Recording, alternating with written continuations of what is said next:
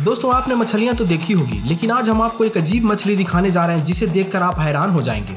ये है remora fish, जो कि समुद्र में पाई जाती है। इसकी खासियत यह है कि किसी भी चीज़ से ये चिपक जाती है। रेमोरा मछली कभी भी अपना शिकार खुद नहीं करती, बल्कि ये बड़े बड़े वेल के शरीर से चिपक जाती है, और वेल जब शिकार करती है तो इसे भी खाना मिल जाता है। ये मछली आकार में छोटी होती है, इसकी लंबाई तीन फीट तक होती है। इसे समुद्र का सफ़ाई कर्मी भी कहा जाता है, क्योंकि ये उन्हीं चीज़ों को खाती है जिसे अन्य बड़े समुद्री जीव खाकर छोड़ देते हैं। इसके सर के नीचे एक फिन होता है, जिसका इस्तेमाल ये अन्य जीवों से चिपकने के लिए करती है। ये अपने फिन को वैक्यूम द्वारा दूसरे जीवों से इस तरह से चिपका लेती है कि ये आसानी से अलग नहीं होता है। कई जगहों पर इस मछली का उपयोग समुद्री कछुओं को पकड़ने के लिए किया जाता है। रेमोरा मछली को कई जगहों पर खाया भी जाता है। आपको बता दें कि इसी विशेषता के लिए रेमोरा फ़िश आज दुनिया से लुप्त होने के कगार पर पहुँच गई है। इसीलिए इसे पकड़ने पर कई जगह पर रोक लगा दी गई है। दोस्तों, इसी तरह की अमेजिंग वीडियो के लिए हमारे चैनल को ज़रूर सब्सक्राइब करें।